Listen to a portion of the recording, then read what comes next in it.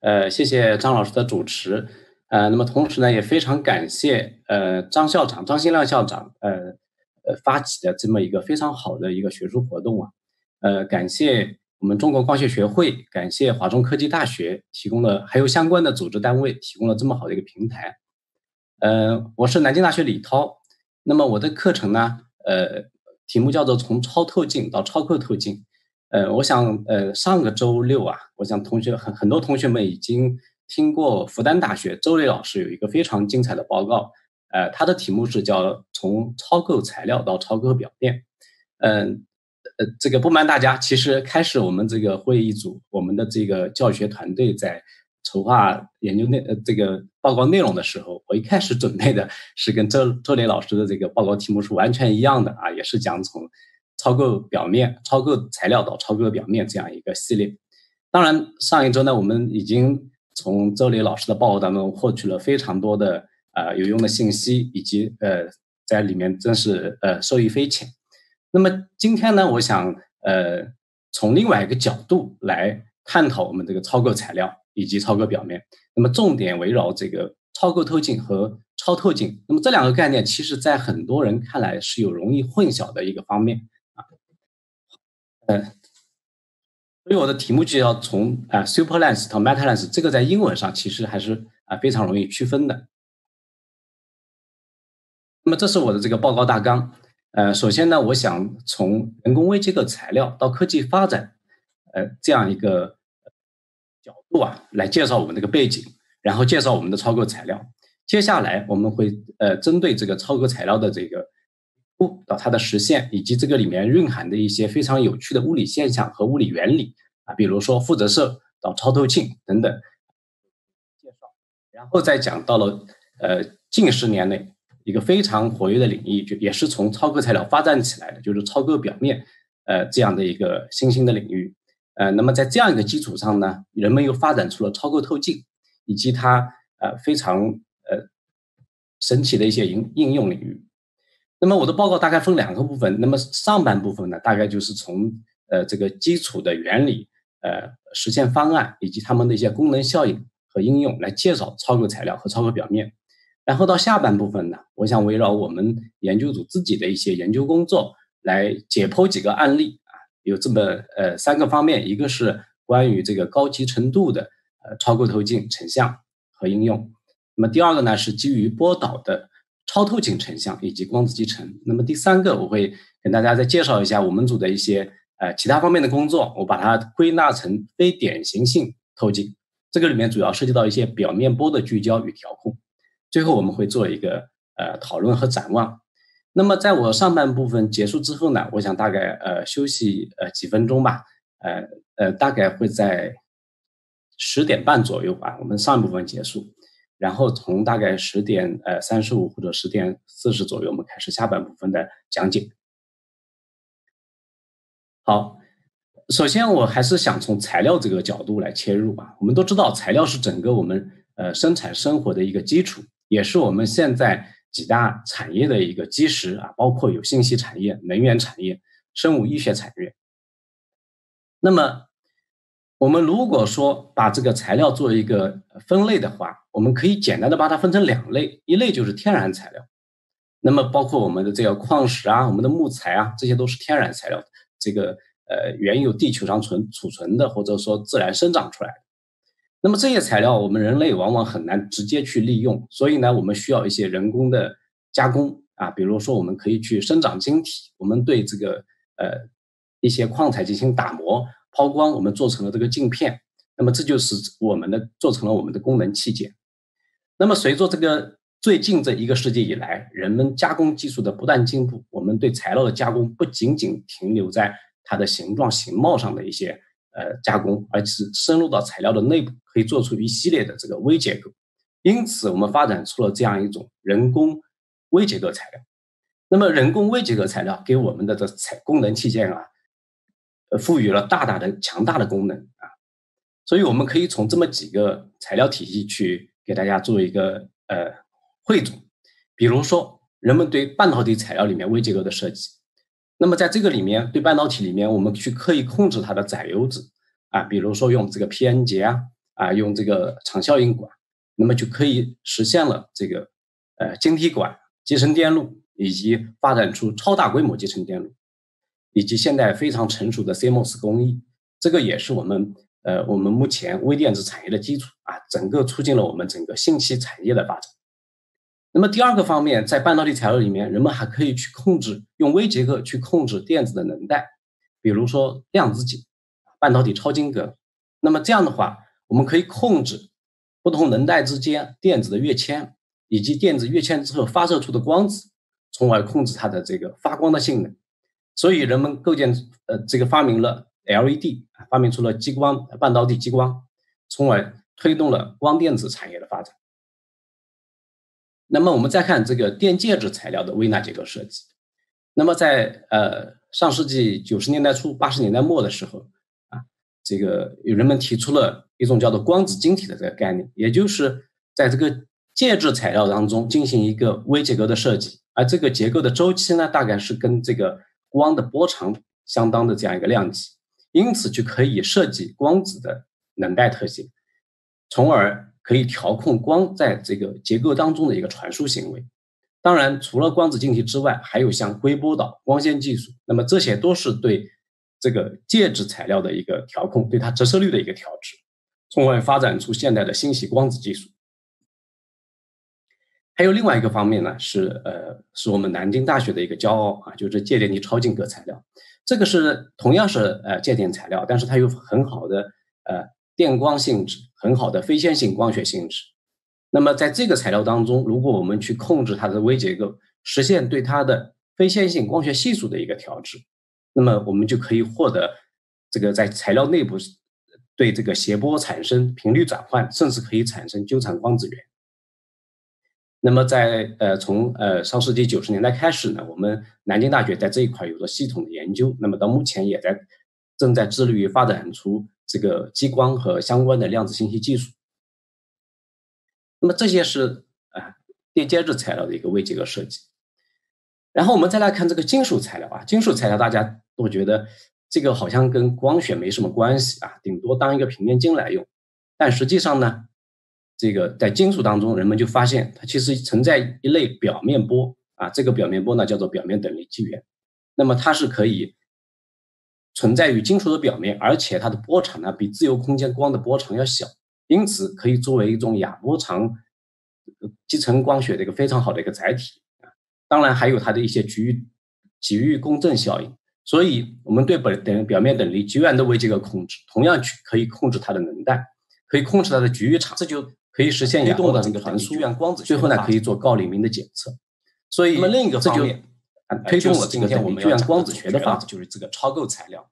那么另一个方面，不满就是今天我们要讲的天然的了，就是这个超构然原子的排布方式。那么，而是我们通过不满足结构的方式，这个天然的微结构或者天然原子的排布方式，而是通过人工微结构的方式。那么这个微结构甚至不是微了，而是一个纳米结构，要远小于天然材料。呃，这样的话，我们构造这样一种人工的原子，那么它可以呢实现。天然材料，这个里面我们可以构造出一些呃特性啊，然后构造负责这个。所以呃呃，在这个里面我们可以构造出人工磁性原子等等，然后构造负责色率材料，呃，以至于后来发展出了变换光学、超构表面等等一系列非常新颖的结构设计做它的功能器件介绍的内容。这就推动了超构光子。那么要说到这个超个材料，我们今天呃重点要实际上介绍的内容，这个负折射率材料。那么要说到这个超构材料呢，我们它的缘起实际上还是来自于这个负折射率材料。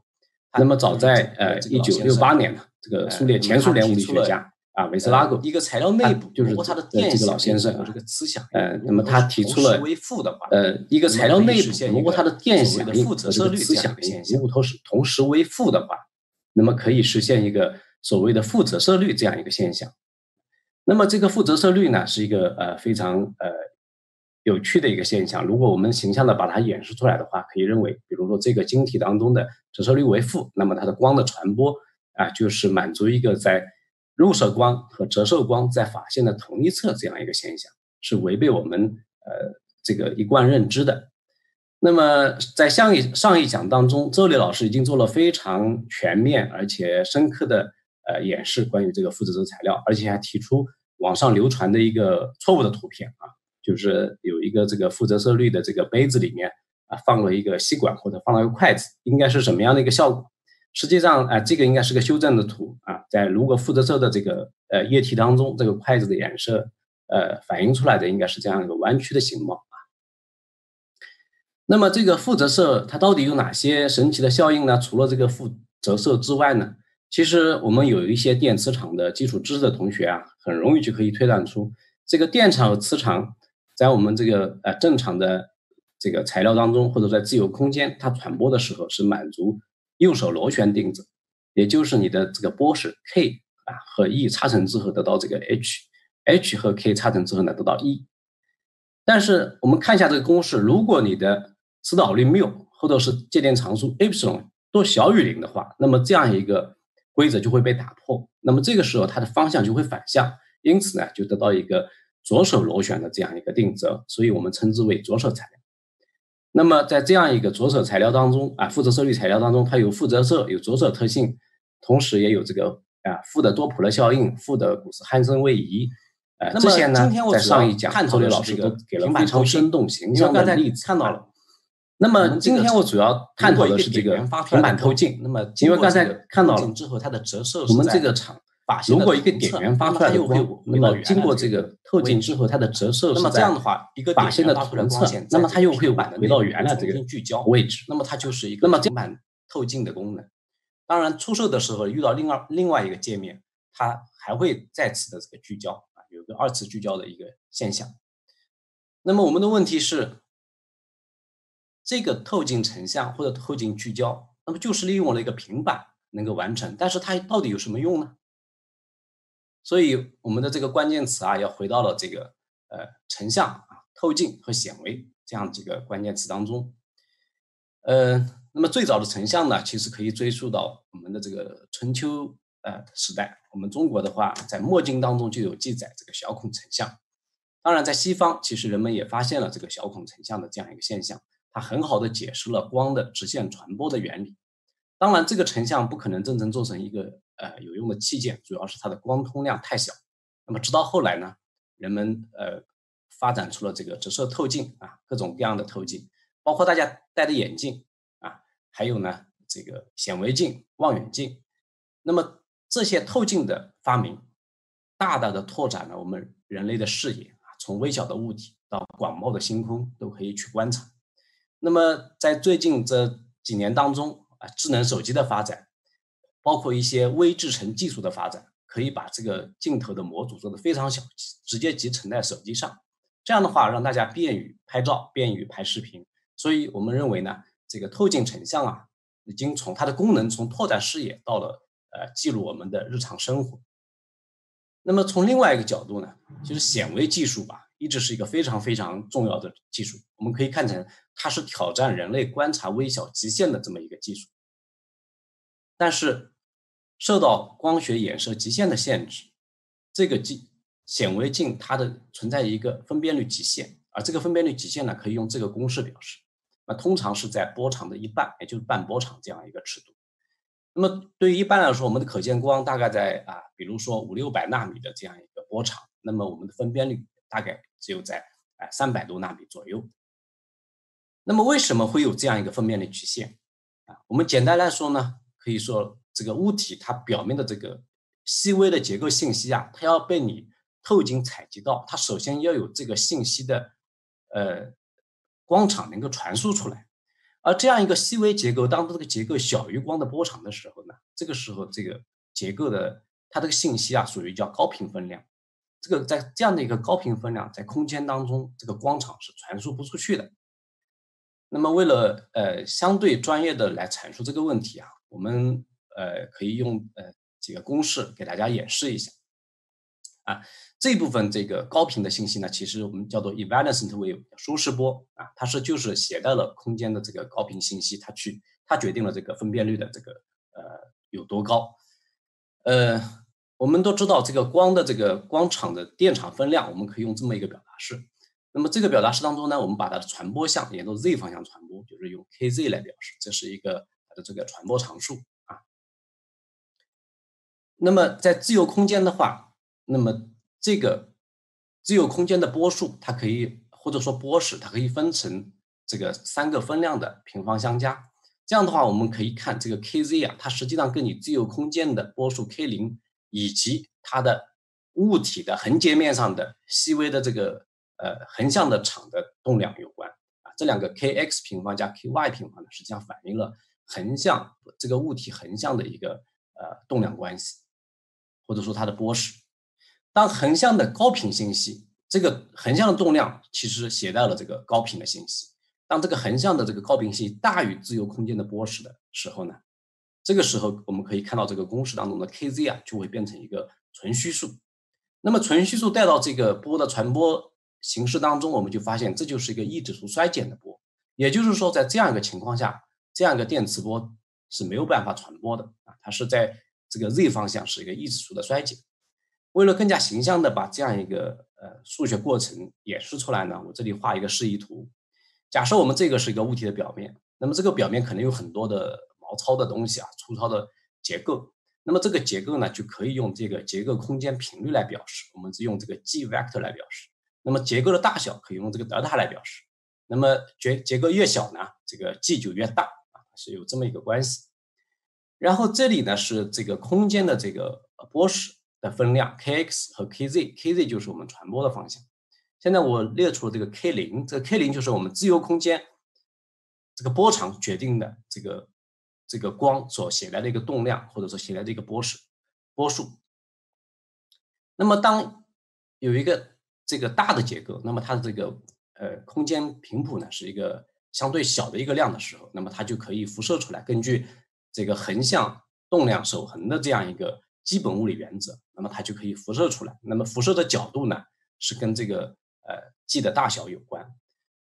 当我们的这个结构越来越小，那么这个时候 G 就会变大，这个时候它衍射的角度就就会变大，就像我们光栅衍射一样，光那么光栅呃这个光栅常数越小，那么它的辐射角衍射角就越大。那么如果到了一个超小的结构，大这个 G 大于了你的 K 零的时候，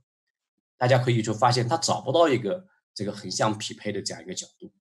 所以也就是这个角度已经大过了这个呃九十度啊。就没有办法再往空间辐射了。那么这个时候形成的这样一个波呢，就是叫舒适波。这个时候 kz 就是一个纯虚数。这个就是我们哎，我花一点时间来阐述这个所谓的舒适波啊，evanescent wave。然后再回到这个成像技术。那么这个舒适波它是提取不出来的，那能不能获得这个超分辨成像呢？其实人们还是想出了一些办法啊，比如说二零一四年诺贝尔化学奖，人们发明了这个呃荧光显微镜。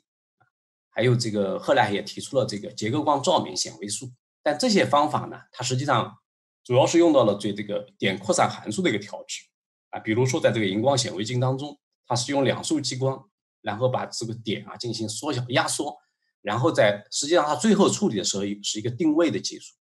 那么在结构光照明的时候呢，它是在利利用这个傅里叶呃频谱空间的一个调制啊，跟我们刚才讲的怎么样调调节这个频谱空间是非常重要。然后它也是一个间接的方法，通过这个多次呃扫描之后呢，可以后面和后面还需要一个后续的呃这个算法处理，才可以把图像恢复出来。那么有没有直接的方法呢？当然有，就是你弄一个啊探针，直接在物体的表面去进行扫描，把那部分传输不出来的舒适场直接给探测到，那直接扫描出来，这也是一种方法。但是呢，这个扫描成像呢？呃，不同于透镜成像，它一个是耗时耗力，而且呢还呃带来不稳定性。所以我们关注的是能否有一种透镜能够把这部分呃高频分量的这个波式能够抓出来，获得一个完美的成像。所以在两千年的时候呢，这个英国科学家啊 John Pendry 教授提出了一个非常大胆而且非常啊美妙的一个设想，叫做负折射率可以实现这个完美透镜。那么大家可以回头去查一下这篇文章，到目前已经引用超过了八千六百多次。那么这个文章当中呢，呃，他首先介绍了这个呃这个负折射率的实现方法啊，在在在这篇两千年之前，其实有两篇文章，我待会会做介绍，就是怎么样去实现一个负折射率，也就是当你这个材料有一个负的电响应和负的磁响应的时候，那么它的折射率啊会达到一个负值呃负值。那么在这个文章中，他首先啊，呃，接把这个电场做一些做了一些处理。这个是就是电场，呃，在它的这个横界面的这个信息啊，做了一个傅里叶展开。那么我们可以看到呢，后面这两项啊，分别是 kx 和 ky 这两项，就包含了这个物体的横向的这个频谱信息。那么对于一个传播场来说，这个时候你这个横向的这个频谱信息是比较小的啊，结构比较大的。那么这个时候呢，它是小于自由空间的波数的啊，这个其实就是自由空间波数的平方 k 零的平方啊，这些。那么在这个时候，这个波是有一个这个实数的这个传播啊波时啊，实数的传播波时。那么在介质当中呢，我们设定这个里面的折射率是负的，所以它的相位演化也是负的，所以在介质当中的这个。kz 它就是一个负的这个项啊，负的这个项，这个都是对于这个传播光场来说，传播光场来说，所以我们假设在距离平板 D 这个地方有一个点光源，那么光场这个相位进入到负折射率材料之后，那么它的演化呢就分成两个阶段，一个是这个呃平板之外，一个是平板之内，那么这个时候呃它最终的在平板内部的一个相位就可以用这个式子来表示。那么在这个式子当中，涉及到这个 d 减掉 z，当在这个平板内部的 z 跟这个 d 相等的时候，那么这一项的这个 e 指数里面就为零，这就是相位归零。那么相位恢复，实际上就是实现了这个成像的功能。那么这样一个过程是针对这个传播场来说，这也是啊六八年的时候，维斯拉格就他的文章当中也提出了，已经是做了这样一个阐述。那么这篇文章重要的贡献在于，它不仅是考虑这个传播场，而是要考虑到这个携带高频信息的一个舒适场。那么高频信息的舒适场里面，我们跟刚才讲到了，这这个横向的这个高频分量啊，横向的波时啊，它的平方和呢大于自由空间传播的波数啊，这个是 k 零平方。在这个情况下，我们沿着 z 方向传播的波时就是一个纯虚数啊，就是这样一个形式。那么这样一个对于一个纯虚度的这样一个波来说呢，我们同样可以根据我们所学到的电磁学的一些基本规律啊，这电呃，大家如如果同学们有学过电动力学，那么对这样一个处理方式应该是呃非常熟悉的，就是我们可以把这个入射场、反射场和折射场它的这个电场表达式分别写出来。在这里呢，由于光有两种偏振态，我们呃首先介绍这个 TE 片子，也就是 S 光，这个时候它的这个电场分量是在 Y 方向啊。这个中间为一是 E y 等于一，那么另外两个 E x 和 E z 呢都为零。那么在这是一个入射场，那么这个是反射场，我们设定一个反射系数 r。然后呢，这是一个折射场，我们讲是一个透射系数 t。那么折射场就是在这个平板介质内部了，在这个内部，在这个内部的时候呢，呃，它的这个传播的波时就 kz 一撇。那么要注意的是，在这个副射射平板内，这个 kz 它要注意，它是有这么一个表达式。这个表达式跟刚才我们介绍传播场的时候是不一样的，因为现在它是一个高频分量，这个 kz 啊，它不再是一个传播的波，不再是一个传播的波，它就不再是一个写的相位就不做变化。那么相位不做变化的时候，这个时候它这个 kz 仅仅取决于这个场的扩散方向，所以它既然是一个折射的过程，那么它的扩散方向必然是要朝前，所以它这里仍然是一个正的值啊。跟跟刚才大家回头看一下，刚才我们在处理在介质当中，这个 kz 是个负的，这个负因为它是一个传播的波，它携带相位信息啊，所以呢这一点呃是大家一定要注意的。好，呃，根据这样一个呃这个呃数学公式呢，我们就可以根据呃我们在电动力学经常处理的一个方式，就是界面的电磁场的这个切向分量要连续这样一个条件，所以。切向条件，呃，切向分量呢电场的切向分量就是 E y 啊，这个是 y y 方向是它的切向，还有一个切向呢是 x 方向，所以磁场的这个切向也要连续。那么磁场的切向可以根据这个呃呃电场对 z 求导，可以把它算出来。那么根据这两个公式，我们就可以把这个这里面的设定的这些系数啊，在第一个界面和第二个界面它的这个呃折射透射系数、呃反射系数，把它分别求出来。可以得到这样一个公式。那么有了这个公式，大家要注意一下，这里非常呃微妙的一个地方就在于，呃，如果说我们刚才讲的这个负折射率要存在，那么它需要有这个呃负的 epsilon 和负的 mu。那么当负当缪等于负一的时候，我们可以发现啊，这个 t 和这个 r 这个公式当中都会导致这个 t 和 r 这个值发散啊发散。所以在这个缪等于负一的时候，是整个体系的一个基点啊，是一个基点。所以呢，我们接下来处理这个透射的这个过程的话，嗯，其实我们知道这个平板当中这个反射的时时候啊，不仅是呃有一次的反射，而且还有多次的平板内部的反射，有点类似于一个 FP 枪。当然，每一次反射之后呢，反射折射之后呢，这个能量会有损耗，所以在呃无穷次的反射之后，这个能量会趋于零。那么这样的话，我们可以算出一个总的透射系数。那么这个总的透射系数，我们可以把一次一次的这个反射折射过程累计加起来，这是个等比数列啊，是一个收敛的等比数列。所以最后 Pendler 呢就推导出这样一个公式。那么在这个公式再把刚才我们算出来这个 t 啊 t 一撇 r r 一撇带进来，带进来之后，我们再求一个极限。因为刚才讲到，当缪等于负一的时候，这个整个的 t t 一撇 r r 一撇它都是一个呃基点，是一个发散点，所以我们没办法直接去带进去算，所以我们要求这个极限。那么在求这个极限之前呢，这个公式啊，把它展开了之后啊，这个潘觉他就哎惊人的发现了，这个里面的很多的式子是可以约掉的。所以这些式子约掉之后，最后得出来这个式子啊，它其实跟你的这个里面的这个呃缪的这个值啊，呃就不相关了。所以这个时候再取这个极限就没有问题了啊。所以最终可以得到这样一个值，因为刚才讲了这个 kz 一撇就等于 kz 啊，因为当啊缪等于负一，epsilon 等于负一的时候，所以呢，而这个时候 kz 是一个纯虚数，这就意味着这个场它是一个一指数增长的。那么这样一个一指数增长的场，那就可以把之前的这个高频分量，它原来是一个一指数衰减，现在可以通过这样一个平板啊负折射率的这个平板，把它呃这个再次放大，从而可以我们再把它获取到。所以呢，这个就是这篇文章的。呃，最精髓的地方，大家有兴趣呢，可以再去好好的读一读啊。那么刚才我们这个给大家解析的是一个呃一种偏振，T-E 偏振。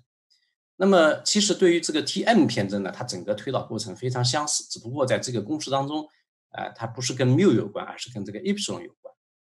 所以有了这个 epsilon 呃为负的时候呢，也是可以获得一个这样的一个舒适波放大的一个呃特性。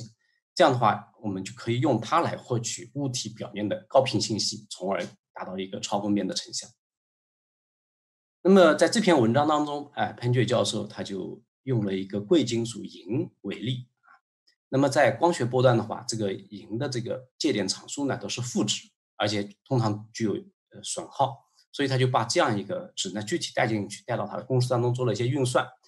那么通过这个银的一个平板透镜，那么对这样一个相距啊八十纳米的一个两个细小的物体，来进行成像的一个理论计算。那么它用的是一个三百多纳米的一个光场啊。然后呢，如果说不加银板之后呢，是这么一个黑色的这样一个呃一个强度分布，也就是这两个物体是区分不开的。然后用了这个平银的平板呢，哎是可以区分开了。这个是呃小于二分之一波长了，是达到了超分辨的功能。但是由于这个损耗的存在，那么最终成的像并不能像这个物体这么呃非常的 sharp 啊，非常的尖锐，所以呢，呃，并没有达到呃原来这个文章当中讲的这个 perfect lens 啊，其实是做不到的。那么这样一个不够完美的成像，就称之为超透镜 super lens，因为它已经超出了传统这个透镜成像去获取能够获取舒适波这样一个呃呃特异的功能啊。那么在这之后，到了二零一五年，呃，美国呃 U C Berkeley 的这个张翔老师，那么在他们团队呢就开始这个超透镜的研究，他们这个实验能力非常强大当时呃应该是呃这个第一作者呃呃就他们就做出了这个超透镜。那么第一作者是这个呃方方炫来教授啊，现在也是这个 MIT 的教授啊，做的非常的出色。也是我们南大的校友，那么这个方教授呢，也曾经多次回到南大来给我们做报告，讲了他当时做这个实验的这个过程，呃，他是用这个银膜来对这样一个铬的这样一个结构和光栅呢，做了一个呃 super lens 的成像，我们可以看他的演示的这个结果啊，呃，这个结果，它最后可以获得的这个分辨率 （feature size） 是在八十九纳米啊，远远小于他们用的这个光的波长。那么跟呃传统的这个呃投影成像相比呢，投影成像得出来的这个长是三百多纳米的这个 feature size。所以这个工作最大的贡献是验证了这个传说中的这个 super lens 到底能不能实现啊？那么呃，在这里呢？他们就用这样一个银膜，确实可以获得了这个潘爵雷之前多年之前提出的这样一个设想。当然，这里也要指出来，因为它就用了一个银膜，而是不是一个真正的负折射率材料，所以它这个成像只对一个偏振光有效，也就是对 TM 偏振。所以你要获得真正的这个负折射率成像的话，最好能够真正构建一个负折射率材料。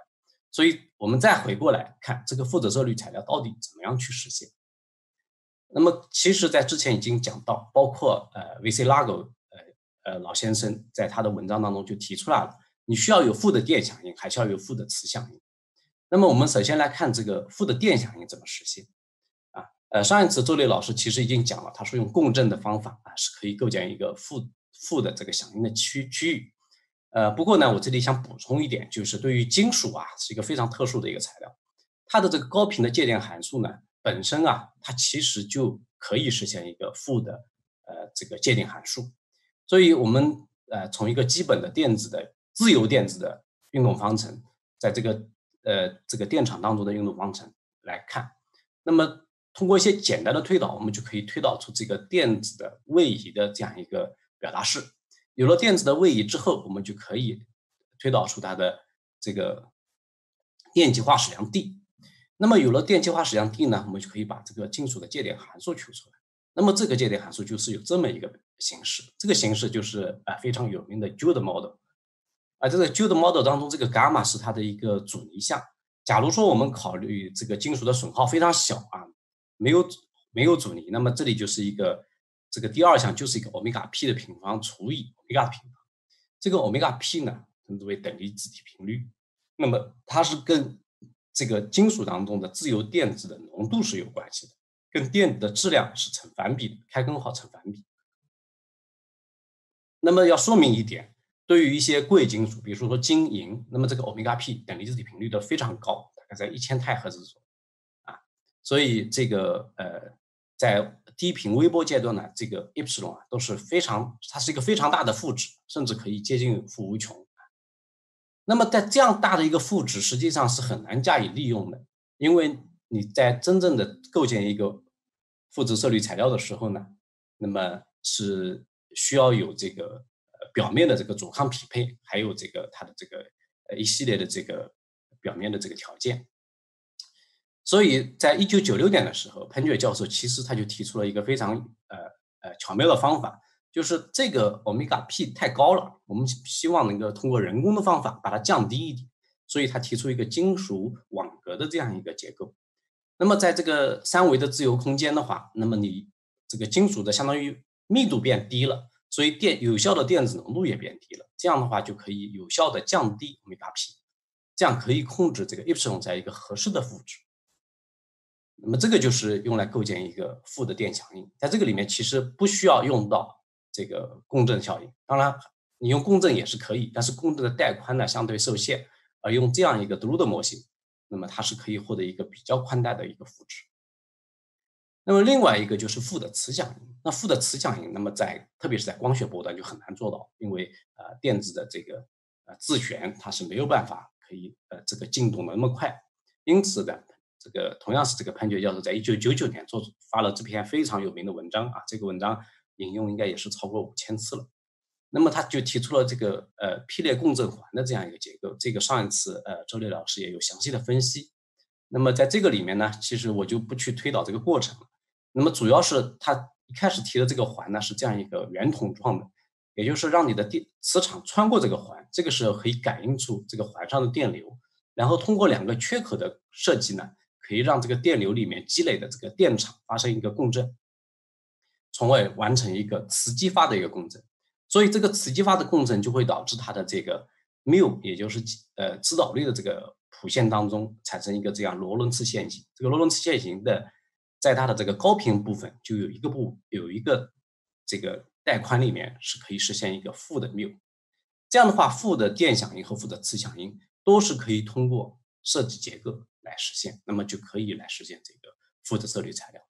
那么在这样一个基本原理的指导下呢，从两千年到二零零七年，很多的呃科研工作者就在努力的去实现这样一个负折材料。那么它的整个的一个趋势呢，就是从微波段啊到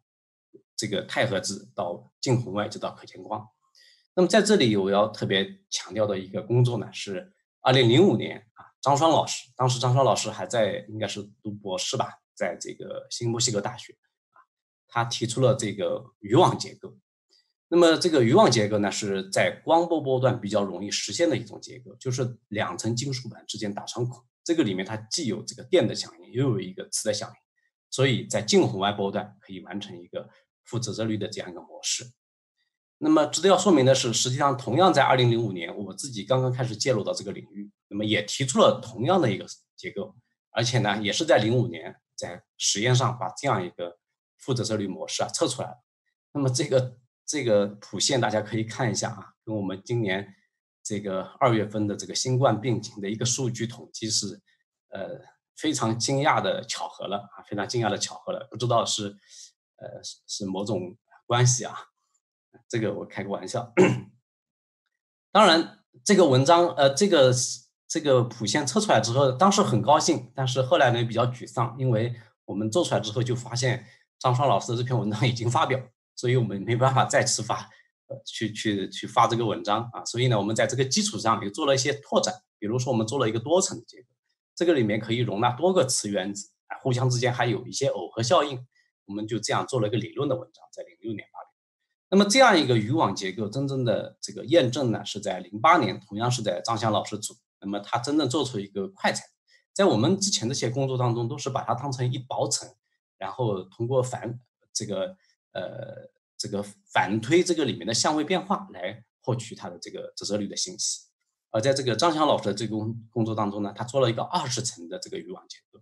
真正做成一个楔形的这个装置出来，然后测出了它的这个负折射的偏转。但是这个工作也是在近红外波段，你真的要做到可见光的话，还是非常困难的。一个是结构非常小，第二个是由于这个里面有金属，而且有这么复杂的这个结构，它的损耗是非常大。所以呢，真正要推进到可见光这个方案是呃不是太现实，所以在零八年到一三年之间呢，又做了人们又做出一系列的这个新的结构方案，包括这个张强老师组自己啊，这个工作是这个姚杰老师啊，也是我的同学，也是我们南大校友啊。那么他在张张强老师组用这个银的纳米线阵列获得了这样一个负折射率。那么，呃，同样，这个，呃，现在是我同事的徐婷老师啊。那么他在美国的呃标准计量局工作的时候啊，在 Henry Lazek 教授组做了这个多层膜的这个结构，也做出一个紫外波段的这个负折射率材料。那么更要说明的是，实际上在早一年，二零零七年的时候，也是我们南大校友我们的师兄刘兆伟在张翔老师组的时候啊，就提出了这样一个，就实现了这样一个 Hyperlens 叫双曲透镜。这个工作非常有趣，就是说，它利用这个双曲的这样一个结构设计呢，可以在把进场的这个 evanescent wave 给提取出来。然后，由于它本身又是一个这样构建了这样弯曲的这个结构，这个 evanescent wave 在传播过程当中，它这个波势会慢慢减小。当它到到了到了这个外表面的时候，这个波势会变成原来是一个 evanescent wave，就会变成一个 propagating wave。这个时候就可以通过原场把这个超分辨的像给提取出来。啊，所以这个双曲的超透镜啊，在那个时候就开始啊兴起。所以这样的话，我要就需要给大家介绍一下这个双曲超超构材料。呃，所谓的双曲超构材料呢，它实际上是一种啊单轴各项异性的这个介质。呃，我们知道这个介质的这个特性可以用它的介电常数 epsilon 和 mu 来表示。通常我们在处理简单材料的时候，都是用各项同性的一个标量来表示。但如果说它是一个各项异性的材料的话，那么这个 epsilon 和 mu 啊都应该用一个张量来表示。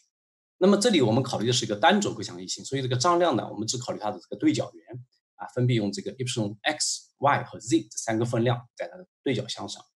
我们把这样一个张量带到麦克斯韦方程组的波动方程当中，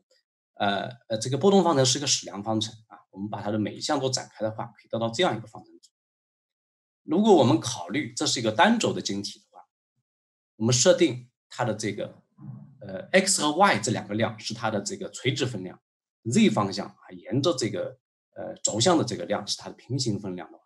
那么把这个联立的这个方程的呃特征矩阵进行对角化，我们就可以得到这样一个色散关系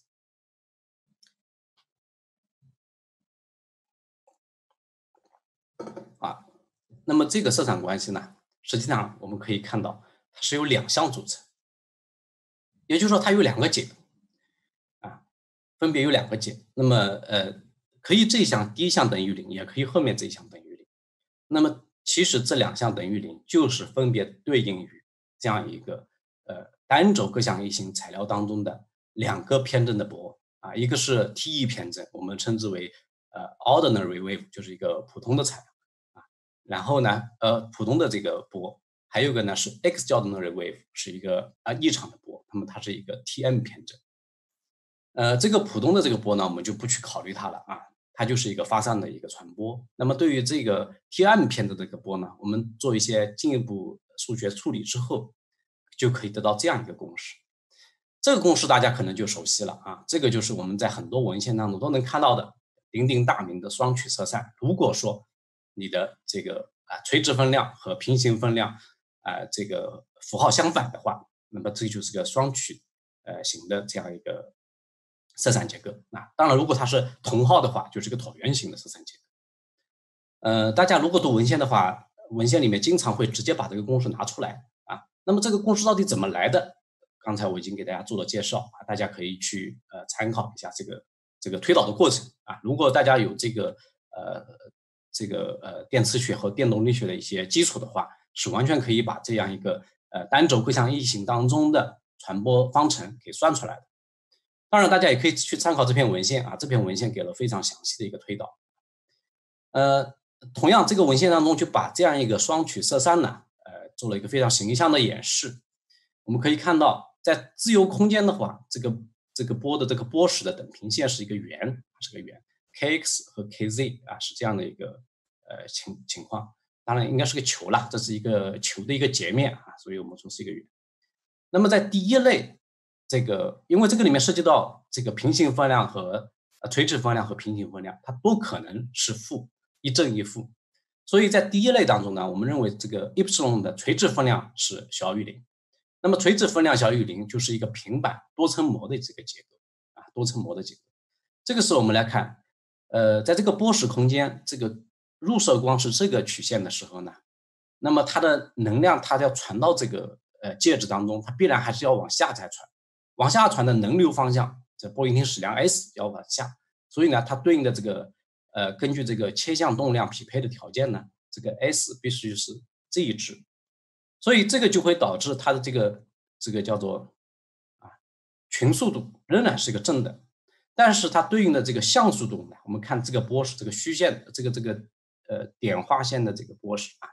就是这一条，所以它是一个负的像速度。所以这在第一类这个双曲色散当中，那么在第二类这个介质当中呢，它的这个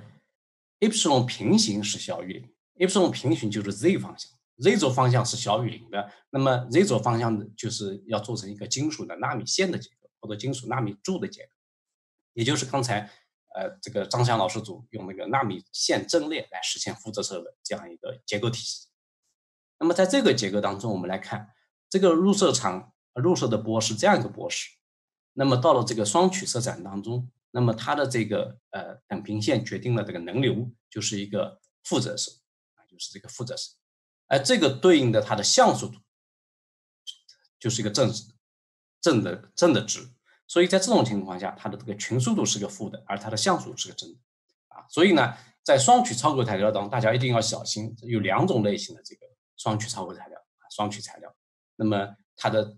群数和像素啊，也就是它的这个波矢和它的这个呃 pointing vector，它们互相是有一定的复杂性。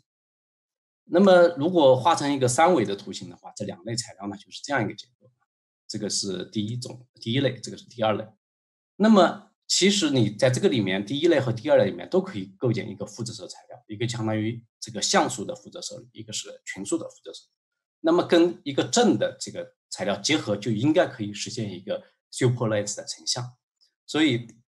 在零九年仍然是呃张强老师组这个呃姚杰呃老师呢，他们就也去设计并做了这个实验，来做这个成这个 super lens 的成像。实验结果其实呃已经有一定的这个显示啊，但是其实效果并不是很好，呃也没有达到非常好的一个这个小的一个聚焦。那么主要原因呢，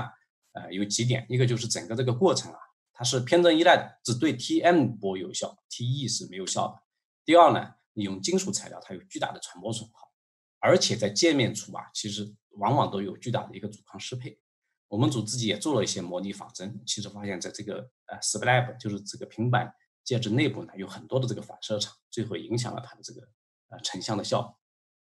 当然，在这之后，其实还是有很多的研究组在致力于做这个 Super Lens 啊，包括这个刘兆伟老师。那么他当时已经离开了呃 UC Berkeley 去了这个呃 UCSD，自己建的这个组呢，也做了很多关于这个 Super Lens 和 Hyper Lens 的一个成像。然后在香港浸会大学。谢国伟老师组啊，呃，昨天我还跟李桂新老师做了沟通啊，这个就是他当时博士论文当中的工作。那么他的研究当中也其实非常有趣啊，他研究了这个高频在成像过程当中的影响，哎，同时呢，它还兼顾到这个 propagating wave 的传播效率和 evanescent wave 的这个传播效率啊，然后还引入了一些枪的这个方案。呃，另外一个就是在南洋理工，呃，这个张道华老师组，那么他也提出了这样一个呃。呃，双曲超透镜的这样一个方案来研究这个里面的传传播啊，非常有趣的是呢，呃，我曾经也是在一二一三年去了在这个 NTU 和香港浸会大学访问，当时他们也都开展相关的研究，但是我自己并没有介入啊，只是觉得这个领域非常的有趣。但是经过很多年的尝试之后，大家就发现这个这个不管是这个 super lens 还是还是这个呃 hyper lens。在真正的实现过程当中，还是面临着很多的困难，啊，效率是一个非常大的问题，啊，其次呢，就是说它对这个近场波的传播，呃，比如说在这个近场成像上可能还有一点效果，但是到了远场，呃，它的这个 evanescent wave，即便你是提取出来，但是都会消失在这个巨大的噪噪声当中，而且还有一系列的，比如偏振依赖。市场过小等等这些问题，所以到目前为止也没有形成一个真正的呃这个技术。其实当时美国也好，新加坡也好，包括我们中国香港都投入了很大的项目在做这个事情，但到目前为止并没有达到一个大家认可的一个一个成熟的技术。当然，这里要提的是前段时间呃这个呃这个罗宪刚老师他们团队啊多年努力啊做出了这个等离居然的光刻机，实际上是我们呃这个非常。欣喜的看到的是，这个它实际上是这个 Super Lens 的一个一个拓展嘛，也算是基于呃 Super Lens 的这样一个基本原理里面获得的一个功能。所以从这个角度来说呢，这个 Super Lens 还是非常非常有趣的，呃呃，具有这个呃现实价值的这样一个呃新的物理效应和一个物理原理。所以刚才我们提到，就是说这个 Super Lens 它吸引大家是突破这个衍射极限，呃。也吸引了很多的这个研究人员投入了这个精力和财力来做这方面的研究，但是我今天还想强调另外一个隐藏的功能，这个 super lens 叫做无光轴成像，呃，因为这个 super lens 它的成像是物跟像之间是一个有平移对称性的点对点的一个成像，所以它这个隐藏的功能是什么呢？就是说它可以实现一个无穷大面，只要你做出一个无穷大的 mat 的这个 super lens。那么它的成像的市场范围也是无穷的，它不受制于你的分辨率，不受制于你的市场范围，所以这样的功能实际上在现在的这个显微成像体系当中是非常有用的。当然，这个后面我会在讲 meta lens 的时候再继呃继续提到。所以整个过程呢，是我们说这个科学非常美妙，但是应用非常艰难啊，有很多很多的这个现实的问题。好，那么时间回到二零一一年，嗯，有一个新的设计方案横空出世啊，就是这个所谓的 meta surface，我们叫超哥表面。那么这个超铬表面的概念呢，实际上就是仍然是基于这个超构材料，但是它只用了一薄层的超构材料。刚才我们讲的这个损耗是超构材料一个巨大的问题，不管是在微波段还是在光波段，特别是在光学波段，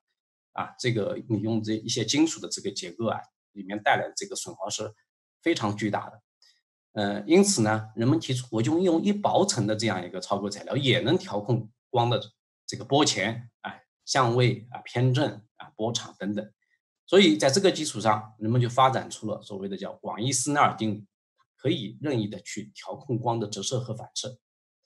因此，基于这样一个原理啊，在二零一六年的时候呢，人们就提出了这样一个基于超构表面的透镜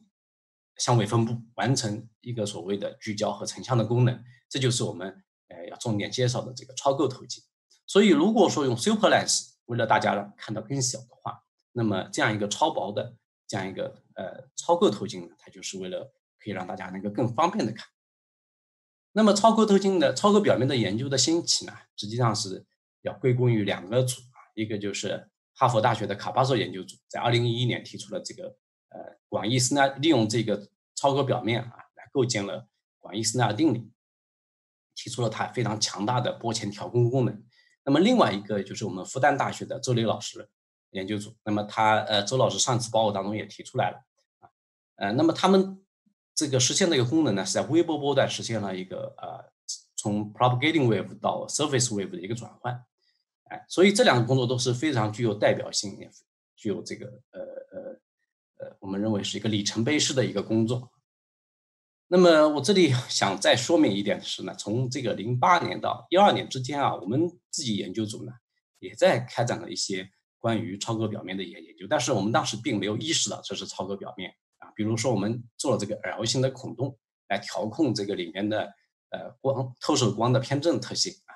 跟这个 V 字形的天线实际上是异曲同工的啊。同样，我们也用用这个 L 型的呃这个呃双层结构实现偏振的转换。那么进一步，在一二年的时候，我们提出了把这种这种小孔呃阵列排布调控的这个转角调控的这个方法用用在了这个 LED 的。显示的偏振复用上面啊，呃，这个其实就是一个非常好的偏振复用的超表面的超表面成像的超表面投影的这样一个呃功能。所以在这个里面，我们可以看到，当当你旋转这个偏振面的角度的时候，我们把两种图像可以隐藏在里面啊，实现一个偏振复用的这个呃显示功能。但是我们当时在做这些工作的时候，都是还是呃，一个是基于超构材料的设计思想。第二个呢是呃这个基于偏振调控的思想，而没有意识到去调控相位的重要性，所以呢也错过了这个呃这个这个像卡巴索或者周磊老师他们这样的一个非常呃大的一个成就啊，把这样的超构表面给提出来。那么呃在对于超构表面这个部分呢，我想后面有几次报告会做，呃我们有非常非常出色的呃青年科学家啊，后面还有三到四讲。会去详细的去给大家介绍这个里面的一些基础理论，所以在这个部分呢，我可能就不展开去推导这些相关的设计原理和公式啊，只是给大家做一个介绍啊。比如说到目前为止发展出来的超构表面的设计原理，可以总的来说分成三类啊，有共振型的、几何相位型的和传播相位型。那么从这个材料的元素来看呢，它又分成两大类，一个是金属和一个是介质材料。那么开始都是用了金属的。这个结构，比如说金属的共振，啊，用金属纳米棒的这个旋转，啊，当然这里我要提一下的是，在二零零五年，这个是罗先刚老师做的一个工作，当时也没有超过表面的这样一个概念，但是他实现的这个方案呢，实际上是用了这个 gap plasma，就是金属狭缝当中的 plasma 的这个传播相位，同样也是可以调制这个波前来完成这个聚焦的功能，或者其他的一些波前调控的功能。所以这个是呃金属的传播相位型的一个典型的代表，但是由于金属材料有巨大的损耗，特别是在透射的这个器件当中，所以呢，呃，人们进一步发展出了介质型的，比如基于这个米共振的，基于介质当中的这个呃 PP phase 啊，就是几何相位的，还有这个传播相位的这些方法。当然，单纯的用这些呃原理来做呢，其实它还是受一些局限性。所以，超构表面的这个设计原理的发展呢，正走向一个联合调控的一个阶段。那么，在早期的这种呃 V 字形天线里面，它其实就已经把几何相位和共振相位相结合了。那么在我们自己开展的工作当中呢，我们为了完成一个宽带的消色差，我们也把这个几何相位和集成共振相结合。那么在卡巴索的这篇文章当中，他们就提出了一个偏振复用的全息，把两种偏振态完全解耦合，可以独立调控。那么他用到的方法也是一个几何相位和传播相位的一个结合。那么超表面，它其实在呃。从一一年开始研究到现在呢，已经演示了巨大的这个调控的能力，调控光场的能力啊，比如说实现这个呃波前的调控啊，实现 OAM 光束，那么实现这个 Meta Hologram 全息啊，用这个 Meta Lens 成像啊，包括近期用用来做这个偏振的这个相机等等，呃，这些呢我都呃这里就不展开。我们具体来讲这个超高透镜，这是一个里程碑式的工作啊，发表在二零一六年的这个 Science 上面。那么这个是这个卡巴索研究组的一个非常重要的工作，也入选了二零一六年 Science 呃提出的这个十大科技突破。那么在这个工作当中，他演示了这个二氧化钛啊介质型的超高透镜它的成像性能。那么这是他演示的一个成像结果。那么对于单个波长来说，那么这个成像性能呢，包括它的这个分辨率、它的对比度都非常好，可以媲美。成熟的尼康显微镜，但是当你用一定带宽的光源照射的时候，我们可以发现它的成像开始模糊了。那么主要原因是因为这个基于呃这个超个表面的设计原理当中啊，这个是广义斯奈尔定理。那么广义斯奈尔定理当中，它的透射、折射和反射呢，角这个折射角和反射角呢，实际上都依赖于你的设定的波长，设定的波长。所以，当你的这个波长变化的时候，你这个角度都会发生变改变，这个就是叫做衍射色差。其实我们很多的光学系统都有这个色差，但是传统的折射器件当中，它的色差来自于介质的折射率的色差啊，呃，介质折射率的色散。嗯，那么相对于这个介质的色散来说呢，这个衍射色差实际上是非常大的。但是好在我们这个。d phi dx 是我们提供的相位梯度，这个是可以我们人工设计的，所以我们有希望呢，通过这个人工设计这个呃梯度相位以及它的整个像相位分布，那么可能可以解决这样一个色差的问题，从而通过这样一个薄薄的片子呢，来解决传统器件当中这个体积大、重量重，而且要一系列这个相差色差矫正的这些弊端。那么在这之后，就很多的工作来探讨怎么样进行一个消色差透镜的这个。呃，设计。那么，在一七一八年之间呢，有很多的工作，这里我就不细讲了啊。那么，包括这个卡帕索、哈佛的、这个加州理工的以及哥伦比亚大学的，他们呢，主要的思想呢比较接近，都是通过传播相位的这个调制，在参数空间做算法优化，可以找到一定的消色差的带宽。那么，在呃一六一七年的时候，我们研究组也开始了这个消色差超透镜的这个研究啊，超过透镜的研究。但是我们更希望呢，提供一个呃物理原理上一个呃比较清晰的解决方案。所以，我们把这个透镜的这个相位把它写出来之后呢，我们就把它分成两个部分。那么，其中一个部分呢，呃是呃跟波长变化没关系的，我们称之为基础相位。因为我们在前面的这个超个表面的设计原理当中啊，其实呃已经发现这个 P-P phase 就是几何相位，它实际上是跟你的波长是没有关系，它只跟你的空间排列形状有关，分布有关。所以我们用这个 P-P 相位呢来设定这个基础相位。那么剩下的这个部分呢是跟波长有关的，我们用叫做补偿相位。那么这个补偿相位我们可以用一个集成共振的方法来实现。好，那个这个部分我稍微拖一点时间啊，然后，呃，然后呃。在这之后呢，我们这个工作是在这个近红外波段，然后是个反射型的，用的是等离气源共振来提供的这样一个集成共振，所以获得了一个呃从一千二百纳米到一千六百多纳米这样四百多纳米带宽的一个小色差聚焦。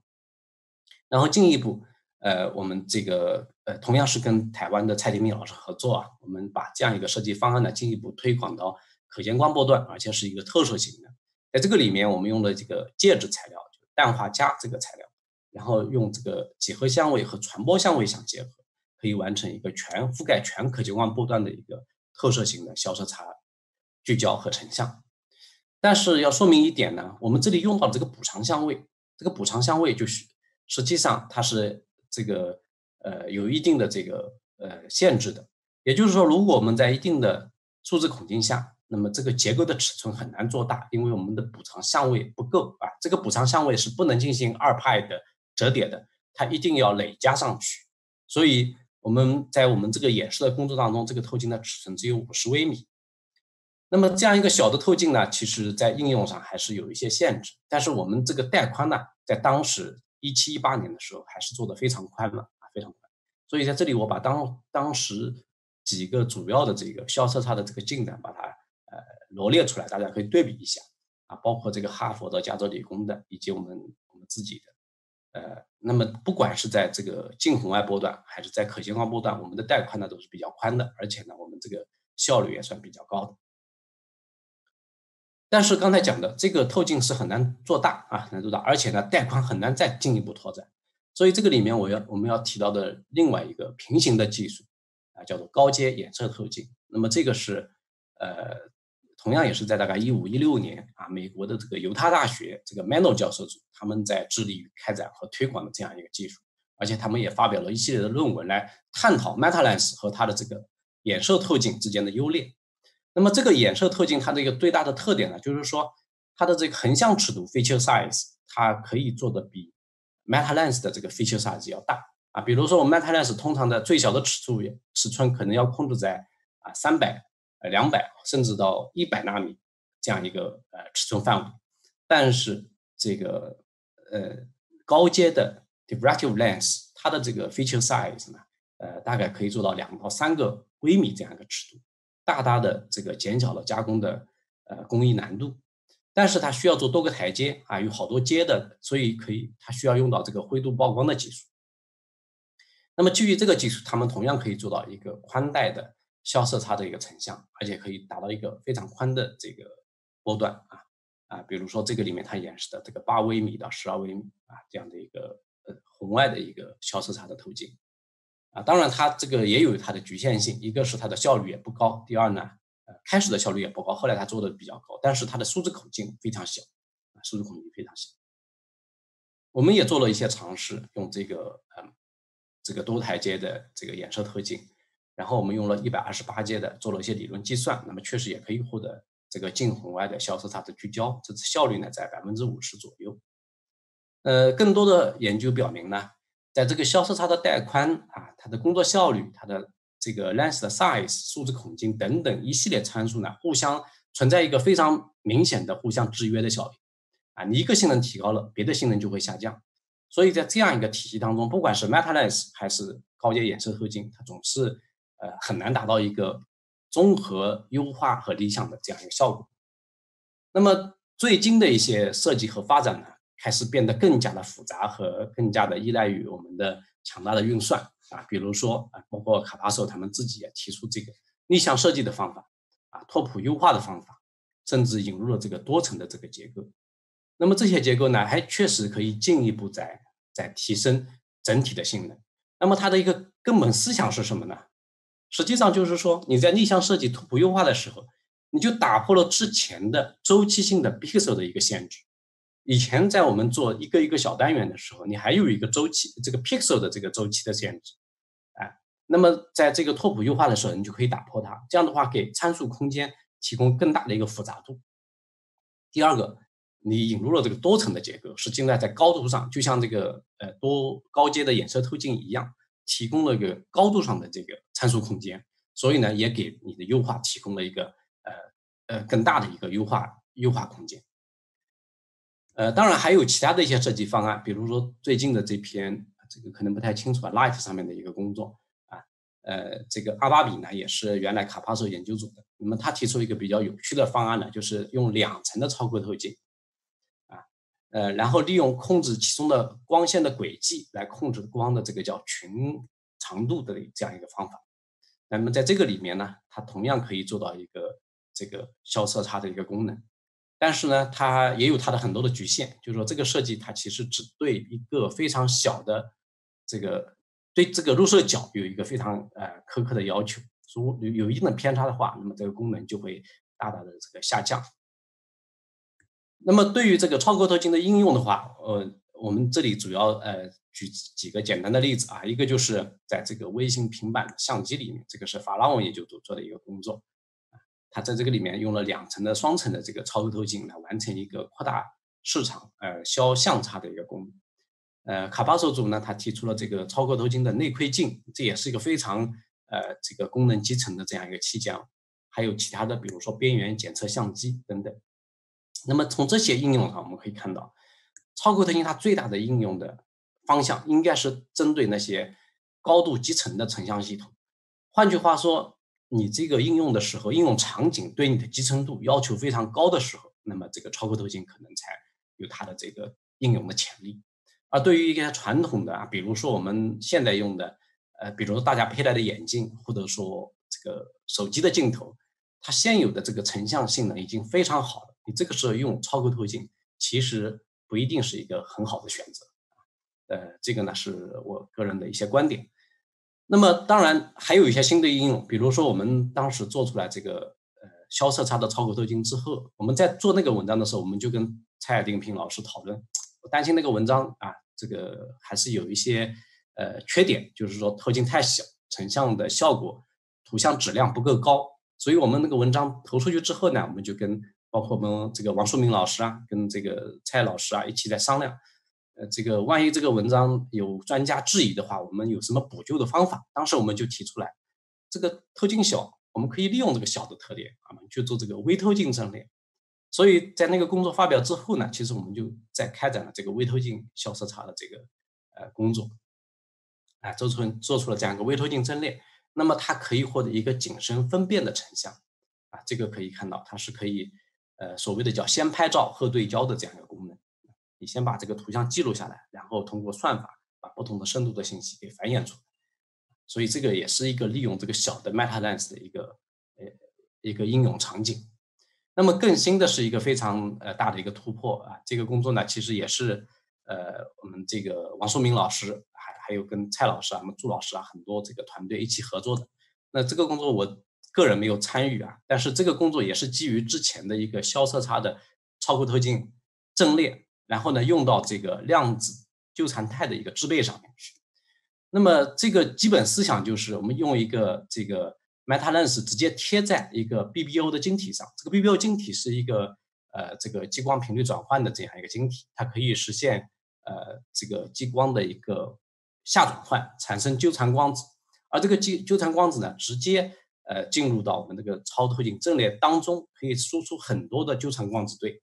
这样的话就可以实现，比如说啊三光子、四光子之间的一个红外曼朵干涉啊，来来来表征它的这个纠缠特性。那么在这个工作当中呢，呃，这个成功的在实验上把这些呃这个高维的这个纠缠态啊表征出来，所以这个工作呃也是一个非常精彩的一个工作。刚刚前一段时间发表在这个 Science 上，所以可以看得出呢，这个超高透镜啊，它有它本身的一些局限，但是它同样也有它的这个开拓的一个应用的空间。所以关于这个超高透镜的这个应用呢，我今年也有一篇这个 News and Views 啊，在这个。呃，我们这个国产的这个 Science China 上面有发表，在这个里面探讨了一些关于 Meta Lens 的一些呃潜在的应用，大家有兴趣呢可以去查阅这篇这个这个 Views。好，哦，已经到了十点四十五了啊，所以我想我们中场休息五分钟，好吧，然后到十点五十分我们再回来。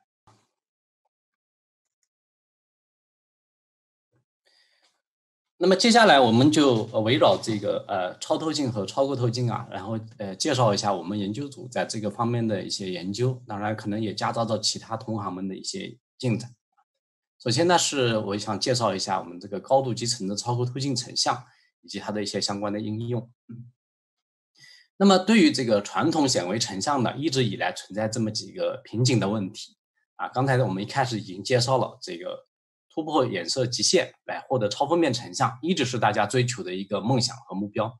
那么要突破这个阿贝颜色极限呢？呃，人们已经开发出了，比如说近场扫描显微镜、荧光显微镜。那么刚才呃之前提到的超透镜，其实是也是一种潜在的方案。虽然它目前为止呢，这个这个技术还不够成熟。那么另外一个方面呢，还有个或者说大家呃有的时候呃会被大家忽略的一个方面是这个大市场和大景深这个成像，特别是在我们这个生物医学的显微成像上面，实际上这样一个要求啊是也是非常非常重要的。我们比如说拿一个这个显微镜来观察一个血红细胞这样一个呃具体的例子来看呢，在十倍的显微镜下面，我们可以看到很多很多的细胞，但是看不清楚，因为你分辨率不够大嘛。呃，放大倍数不够大。如果我们把放大倍数调大，调到五十倍的时候，我们是可以看到这个细胞的形貌了。但是我们能看到的这个范围非常有限。那么这个原因呢，主要就在于我们有一个概念叫做空间带宽机啊，也就是你的这个市场范围和你的放大倍数之间是一个制约的关系。当然，还有一对制约的关系呢，实际上是叫做数这个景深的这个关系。当我们这个场聚焦聚的非常小的时候，我们可以获得很大的分辨率，但是这个时候物体的观察的景深就非常受限啊，景深就非常受限。那么这个时候，也就是说你只能看到这个物体的一个层面的信息。那么如果你要获得一个比较宽的、比较深的这样一个景深的话，那你的数字孔径必须要小，这个时候你才还能获得比较深的这个信息。所以在传统的显微成像当中呢，这个放大率跟成像的市场。跟这个景深是一个这个成像系统固有的一这个矛盾。我这里也列出一个显微镜放大倍率和市场关系的一个数据啊，大家可以对比一下。在很小的倍数下，啊，分辨率很差，但是呢，市场可以做得很大。但是到很高的倍数下，一百倍的时候，你分辨率可以呃突破微米啊，到亚微米尺度，但是你的市场只有也只有啊几百个微米这样一个范围。所以，如何同时获得大市场或者大景深？呃，这个是我们在显微成像里面是呃亟待解决的这个问题。然后我们再反过来看这个超割表面这个色色差啊，实际上我们看这个对于这个折射透镜和这个衍射透镜来说，那么它是有完全不同的呃色差响应啊。一个这个里面是一个正的色差，而在衍射透镜或者说超割透镜当中，它是一个负负的色差，而这个色差的这个呃。这个偏转角呢，实际上我们可以看到，它是跟跟这个呃你的这个结构单元的这个周期数有有关的。对于我们超割表面来说，你这个周期非常小，所以这个这个偏差的这个角度会非常大。我们自己也做了一些研究啊，做了一些计算啊，比如说我们拿这个 Meta 跟这个呃玻璃一个叫 BK 七的这个玻璃做一个对比，这个是在同样的入射角度下，随着不同波长它的折射角的一个变化。其实我们可以发现啊，当然这个一个是有衬底，一个是没衬底的这个超超割表面，那么它的这个色差的这个偏转角的变化呢，是远远大于传统玻璃这个里面的折射角的变化。如果用用它来做成一个透镜的话，那么跟传统的这个折射透镜对比，那么在可见光波段，那么这个 meta lens 的这个色差呃这个焦距变化是非常巨大的，相对相对于这个传统的镜头。所以，既然有这么大一个大的色差，我们就考虑啊，可以利用这个色差来进行刚才讲的，呃，这个显微成像。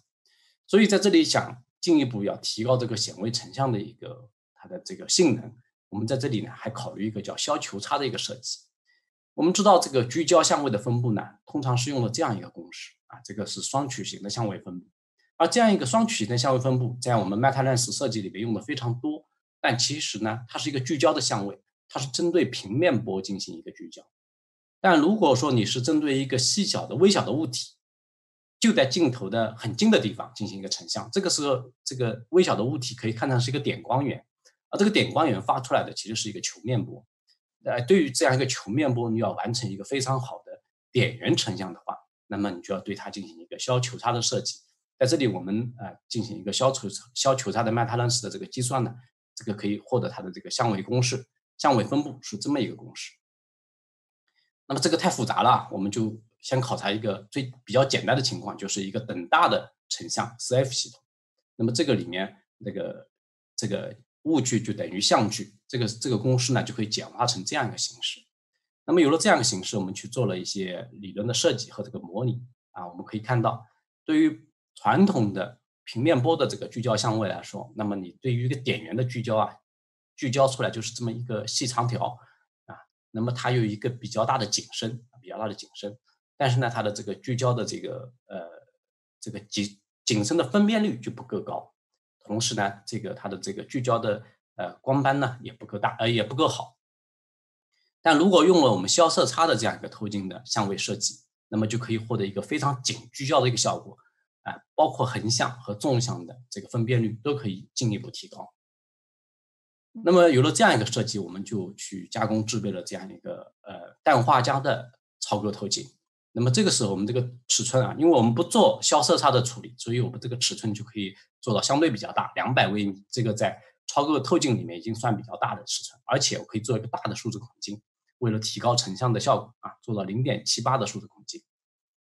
那么确实，我们用来做成像表征的时候，发现它的呃分辨率可以达到这个七百多纳米的这样一个分辨率啊，其实不止啊。我们用分辨率板的话，因为没有更高阶的，我估计这个分辨率应该是在啊五六百纳米的一个分辨分辨能力。然后我们就用不同的波长的光进行照射，可以发现呢，它的焦距确实有一个明显的变化，在不同波长下。那么这就给我们提供了一个非常好的。光学变焦的一个方案，所以我们在呃在这里就用利用这个传统的这个光路系统啊，对这个超铬透镜的这个成像进行了一个表征，看看它是否真的可以呃还原出这个深度的物体的深度的信息。所以在这里我们制备了好几个这个 slides，就是这个片子啊，每个片子上呢加工了不同的旋转的角度的这个样本，呃，也就是在这个光路的不同的深度上面。然后看我们这个超铬透镜在不同波长上的成像行为，哎，我们确实可以发现，在不同的波长下，你成成的图像是不一样的。然后在几个特定的波长呢，我们可以看到，啊，它正好就反映了这个光路上不同深度的这个物体的信息啊，不同的这个角度的对比，很明显可以区分出来。所以这样的话，这个超铬透镜其实就可以演这个扮演了这样一个景深分辨的这样一个呃。成像功能啊，那么这个景深分辨呢，它不是通过之前我们在显微里面去调这个物体的位置，而是通过调控外界的入射波的波长。所以我们在这里仅仅是加了个滤波器啊，把这个白光的某些波长滤出来，就可以完成这样一个功能。那么有了这个功能，这个还是一个间接的手段，仅仅是对功能的一个呃证实。接下来我们就要呃拿一个实物进行演示。这里我们用的这个蛙卵细胞，蛙卵细胞呢，它的这个尺寸啊比较合适，用来做我们这个超微中心成像，大概在呃十几呃呃二三十微米的这样一个尺度。那么这普通的这个显微成像呢，我们可以看不出什么嗯细节的信息，也看不出一些深度的信息。但是如果用这个我们这个 meta lens 进行成像的话，我们可以得到这样一个彩色的分布的图。这个彩色的图其实就包含了。呃，这个深度的信息，所以我们用一个滤波片把不同的波长滤出来的话，我们可以看到，在不同的波长下，那么我们成的这个细胞的这个图像是不一样的。那么这些不一样的图像呢，其实就反映了这个细胞在不同深度上的这个信息啊。我们把这些图做成一个视频的话，可以清晰的看到这个在不同层面这个细胞的一个形貌变化。那么通过这个呃，对这个。形貌的这个呃提取和这个数据的提取呢，我们可以把这个呃整个的这个成像的这个位置，也就是它的距离、景深、景深的这个信息和图像的一个呃放大率啊，把它结合起来，然后获取它的整个的一个变化过程。所以，我们这个数据是在五百到五百六十纳米，也就是非常窄的一个带宽里面，其实我们已经获得了三十五微米的一个景深变化，也就是可以看到整个细胞的呃前端面和背后。所以这样的话，我们就利用这个波长的调节，解决了显微成像当中景深受限的一个问题。整个测量过程呢，没有任何的机械移动，是可以达到一个高稳定的光学变焦。那么在这样一个呃过测试过程当中啊，其实我们发现，我们仍然是在这个光路里面进行的一个成像的这个测量，啊，用到了除了这个超铬透镜之外呢，其实还是呃要用到很多的辅助透镜。和辅助元件，那么在他人的这个工作当中，同样也用到了很多的这个辅助的光学元件。但是我们为什么要研究超铬透镜？我在这次报告的一开始就讲了，超铬透镜它最大的优势是它用一薄层的材料代替了你的快彩，代替了你的直射透镜，所以它的最大的优势是超轻、超薄，而且呢是一个平面的结构，它易于集成。但是如果说你把这个超铬透镜仅仅放在光路上来做这些测量，实际上它和你传统的折射透镜没有什么区分啊，没有什么区别，它的最大的优势体现不出来。所以需要把这些优势体现出来的话，你用这么多的辅助透镜、辅助的成像设备，实际上是不利于它的这个高密度集成的。因此，我们就在考虑怎么样把这个超超构透镜这个超薄超轻的优势发挥出来。那么，一个最直接的方案就是，你就把它集成到成像芯片上去啊。所以呢，我们这里就提出一个，直接把这个 Meta Lens 啊 mount 到这个 CMOS 的这个成像的 CCD 成像的芯片的表面。所以我们就呃，这个最近这个一两年呢，一直致力于这个一个高呃高密度的这样一个集成器件的一个开发和研制。首先，我们对这个把用一个光学胶啊，把制备的这个硅的呃 Meta Lens 把它集成在这个呃 CRS 芯片上，然后对它的成像性呢做了呃系统的表征啊，我们可以看这个是我们利用这个集成的这个 Meta Lens 的成像的一个结果。呃，在这个一倍，也就是四 F 系统下，那么它的分辨率达到一点七四，实际上不够理想。这个不够理想的一个原因呢，是因为我们这个用的 CMOS 芯片啊，它的像源尺寸一个 pixel 就是这个呃一点六七啊，所以呢，我们这个分辨率是很难高于它的这个像源的这个分辨率。当然，我们可以做一些放大，比如说我们通过调节物距和相距，那么可以获得一点五倍的这个放大，这个时候可以把这个分辨率进一步提高啊，比如到一点二三。但这个时候呢，它的信噪比会下降，它的对比度也会下降。那么我们系统的研究了它的这个成像的这个性能，比如说 MTF 啊，调制传递函数。那么随着呃这个不同的这个这个这个频谱分量的一个变化，那么在小的这个频谱范围里面呢，它基本上达到了我们这个衍射极限。同时，我们也呃研究了它的这个市场以及这个像高，呃这个相当于就是像的对像的大小和这个透镜的一个比。啊，它们之间的这个这个随着在不同数字孔径下的一个关系，呃，那么进一步的话，我们刚才已经演示了一个，我们这个超高透镜它具有一个大的色差，可以用来做波长调控的一个景深分辨成像，所以这样一个呃高集成的系统上呢，同样啊秉承了这样一个优点，呃，我们呃为了演示这个功能，我们在盖玻片上两面分别加工了两个不同的样品。然后它们之间呢会有一个二百微米的一个呃深度信息啊，那么这个时候我们就用不同的波长去照射样品进行这个集成成像，哎，我们确实可以发现，在某个波长下，那么下表面可以获得一个清晰的像，在另外一个波长下呢，那么上表面可以获得一个清晰的像，那么这就是不同这个景深的一个分辨的功能。那么进一步，我们刚才讲到，其实在显微成像系统当中，这个市场是一个非常重要的一个。呃呃，一个性能，所以我们就希望呢，呃，在保持分辨率、保持它的工作距离不变的情况下，进一步去扩大这个成像系统、成像市场。所以我们这里设计了这个超高透镜阵列。刚才其实我们已经讲到，超透镜 Super Lens 它最大的一个功能就是呃突破衍射极限。那么另外我提到一个叫隐藏的功能，它是一个无透无光轴系统，也就是我的我的透镜可以做的很大啊，而且它分辨率是不受影响的。但是我们传统的透镜，包括我们 Meta Lens 就超构透镜，它都是一个有光轴的系统。这个里面会涉及到，会涉及到你的光线都是围绕你的光轴中心进行折叠的。所以你的这个市场要做大的话，那么这个折是折叠的角度就会变大，导会导致一系列的问题，比如说相差呀、这个呃畸变啊等等这些问题，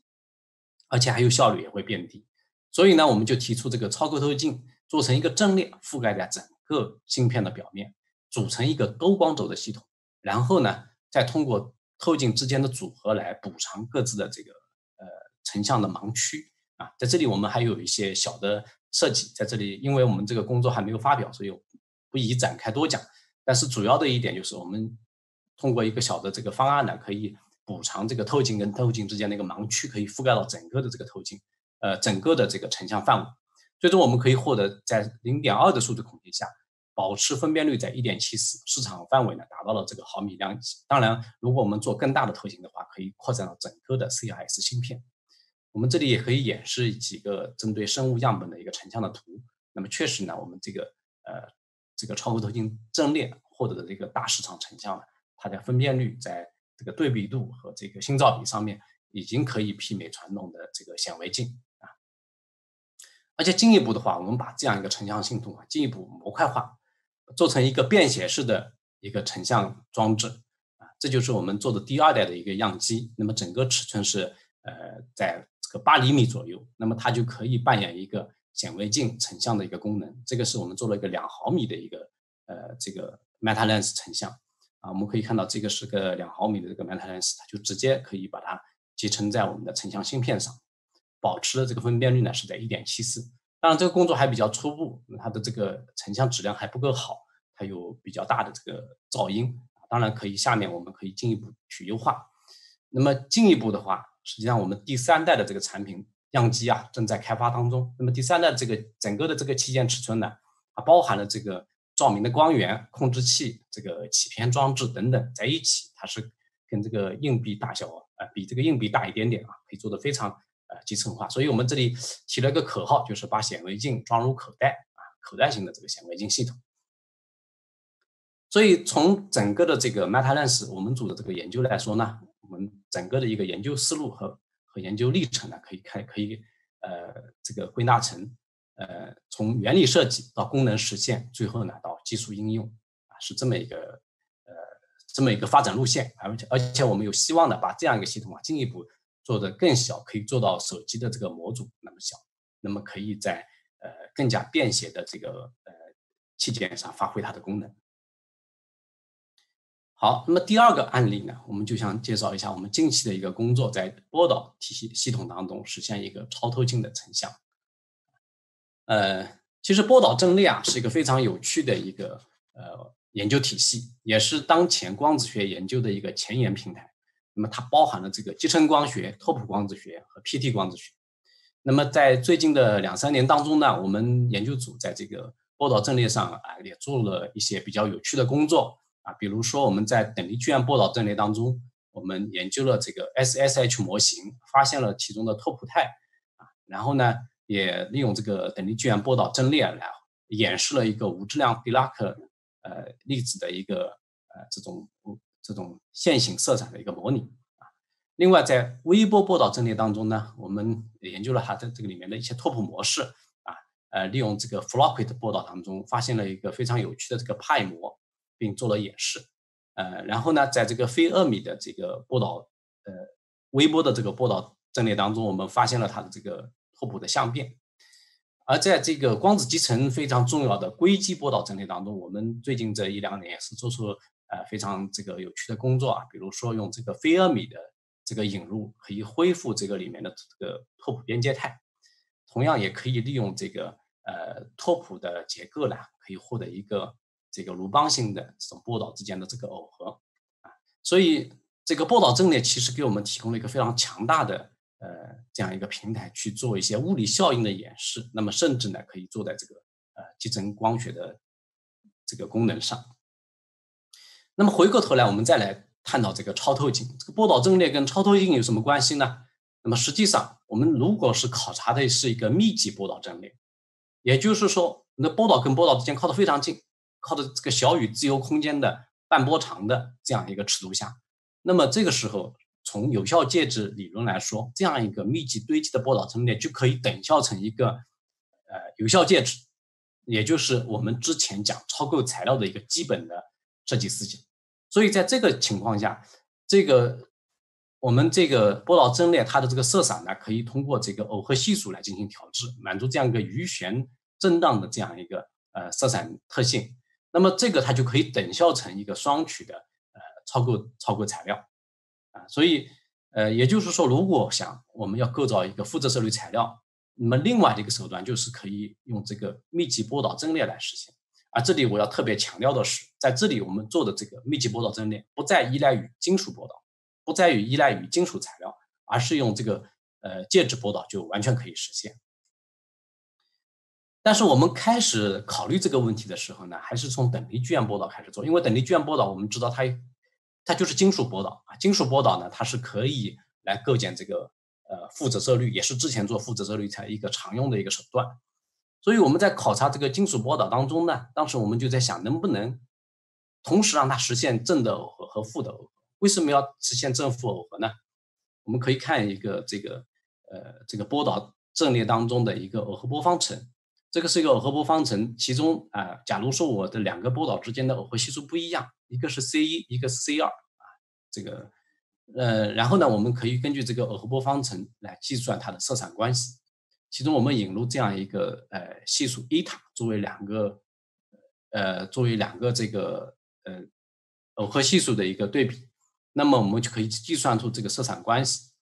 那么这个色散关系呢，呃，我们再进一步推导的话，就可以得到这样一个式子。在这个式子当中，我们发现，如果你的耦合系数它是大小相等、符号相反，也就是 a 塔等于负一的时候，这个哈密顿量就可以简化成这样一个形式。这是一个线性的色散啊，这是个线性的色散，所以它就可以模拟这个无质量狄拉克粒子的一个传播的行为。那么这个之前就有文章提出来啊，你是可以通过这个正负耦合的波导体系来演来演示这样一个呃这个劈裂的这个无衍射的这样一个传播。那么主要原因是它的色散当中在中间有一个狄拉克点，是两个这个线性色散的一个交点。因此我们就在考虑这个等离曲线波导。等离曲线波导，我们知道之前的金属波导之间都有负耦合，为什么会负耦合呢？实际上我们看一下它，我们做了这样一个。两个这个矩形的金属的波导的示意图啊，我们把这个场分布画出来，我们可以看到，在这个侧壁上呢，这个场作为一个镜面对称来说，那么这个呃 E X 它是倾向于这样一个反对称的排布，这个时候是个低能态，但是在上表面的电场呢，它是倾向于一个对称的分布啊，它对称的时候是一个低能态，所以对于这样一个矩形的金属波导来说。那么它的侧壁，它其实是呃是一个负耦合为主，而上表面呢是一个正耦合为主。你去调控它的这个间隙以及这个高度，你就有可能做到这两种耦合有个竞争，使得整个耦合系数呢可以实现从负耦合到正耦合有一个渐变啊，一个渐变。有了这样一个调制，你就有可能构建出正负耦合的这个等离卷波导。所以我们在这里啊就。确实通过一系列计算找到了这样一个正负耦合的这个区域，而且做了一个理论的模拟。我们其实想开展这个实验，还做了一些尝试，但是这个这个参数呢实在是太苛刻了，很难把这样一个很很大这个呃深宽比的保持很好的这样一个形貌的这个等离矩线波导做出来。所以我们就做了一个理论的演示。而且还有一个问题是，这个等离矩线波导里面有金属，所以它损耗非常大。你很难做到一个非常好的一个效应啊，传播传播光场就没有了，呃，所以呃，这个这个整体的这个演示效果呢，并不是很好。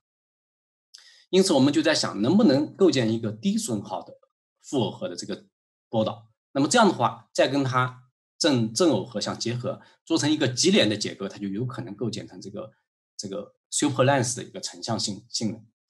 那么幸运的是，在一二年的这篇文章当中呢，人们就提出来了，在这样一个光波导当中啊，这个是在这个玻璃里面啊，用这个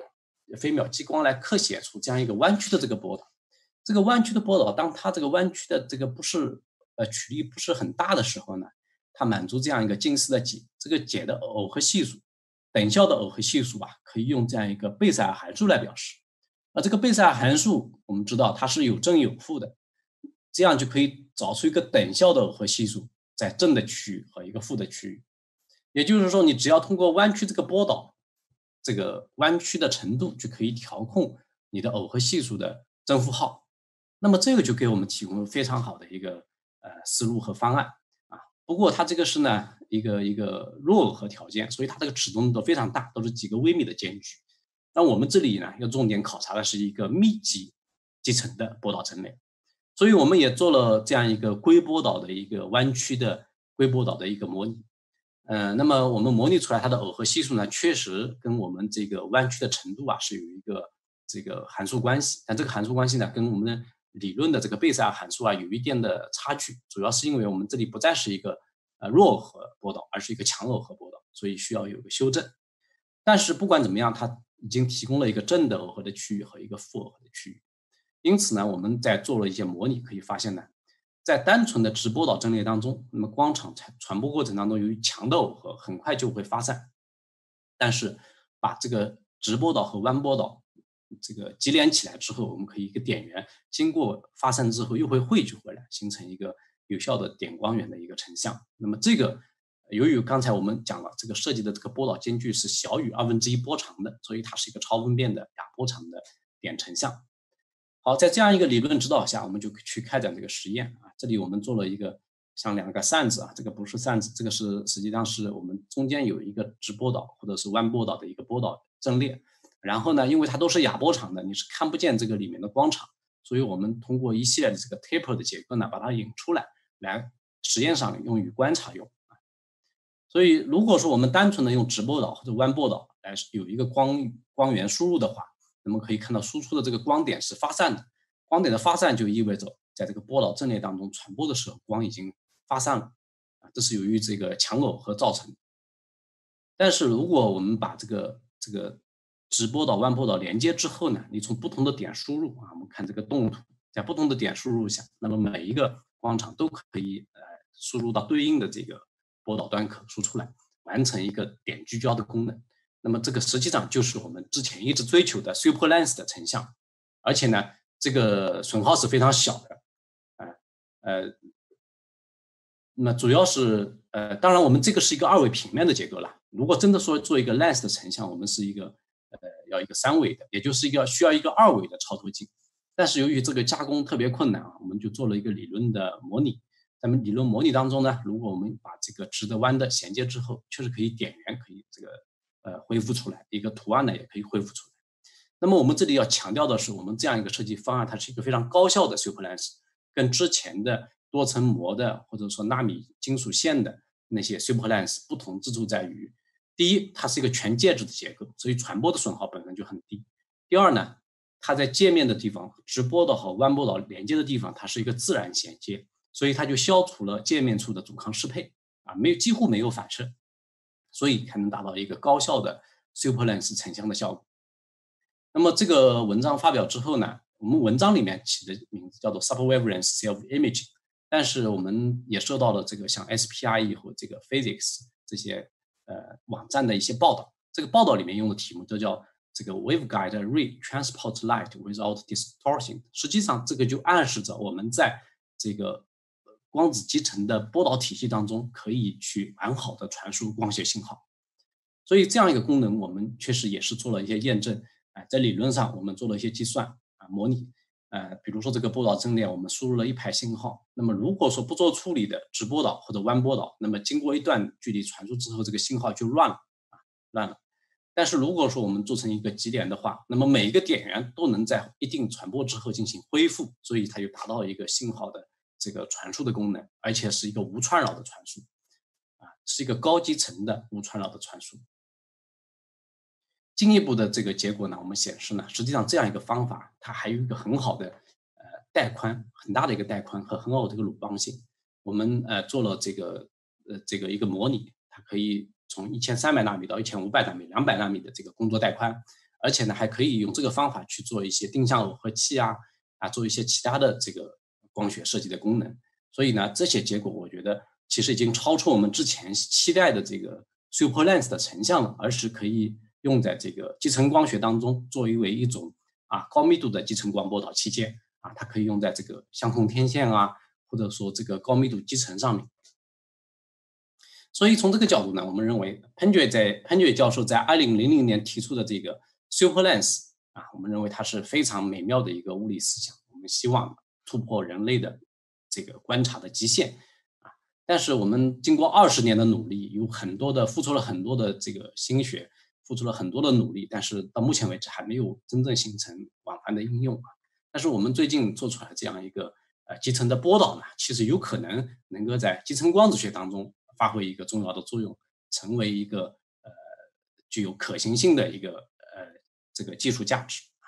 所以我们认为这个超高透镜成像最后啊，希望它能够用在这个高密度的光子集成上面。好，最后一个案例呢，我想是介绍一下我们组在呃这个表面波调控上的一些工作。呃，我把它归类到叫非典型性这个透镜啊。那么其实呃，在这个最近的十余年当中啊，表面等离纪元一直是大家都关注的一个焦点。因为它主要是具有一个亚波长传输的一个特性，还有一个是局域场增强的一个效应。那么在呃这个纳米光子学里面呢，是一个重要的研究分支啊。人们总是希望能够呃能够像控制这个光一样，去在这个金属表面去控制自如的控制这个表面等离聚源的光场。那么其中一个很重要的功能就是怎么样把表面等离聚源进行一个有效的聚焦。那么在过去很多的工作当中呢，发展了很多的结构用来做这个聚焦。当然，这些聚焦它都是外面的空间的光直接打入这个表面，然后再耦合到这个一个小的胶板上去。当然，这些结构后来越做越复杂啊，包含完成多个多个焦点的聚焦。甚至通过这个聚焦之后，可以把它耦合到波导里面去，完成一个呃这个聚焦场的一个输出等等。当然，这些呢，它都不是在一个完全表面的一个行为，它是通过外界的光打进去，通过这些特殊的光栅进行的一个耦合。当然，还有一些工作，它是完全针对这个表面波的一个调控，比如说在这个金属的表面做上这个介质的这个圆球啊，或者这个圆柱。那么这个表面波等离聚源波经过这个圆柱呢，也是可以聚焦，这个就是等同于我们自由空间的这个啊柱透镜了，啊，当然这个是呃这个另外一个工作，就是表面针对表面等离聚源设计的这样一个波带片啊，它有几个这个结构在这，通过这个衍射等离机源波的衍射来完成一个聚焦的功能。那么我们研究组呢，实际上从二零一零年左右开始啊，就在就一直致力于表面等离机源的操控的一个研究。其中我们呃呃就发展了一个非常有趣的一个方法，叫做非严格布拉格衍射来调控衍射波的相位。那么它的一个基本思想呢，就是我构建一个阵列，这个时候当你的表面等离基源打到这个阵列上，它就会发生散射或者衍射的行为。而这个散射衍射呢，它取决于你阵列的一个结构参数。如果说我是一个周期的阵列，那么它在这个导空间啊就会形成一系列的这个导格式。当你满足这个导格式跟你的这个 SPP 波的这个二瓦的球相交的时候，它就满足某一些这个衍射条件的时候，你就可以获得一个非常好的定向的一个衍射。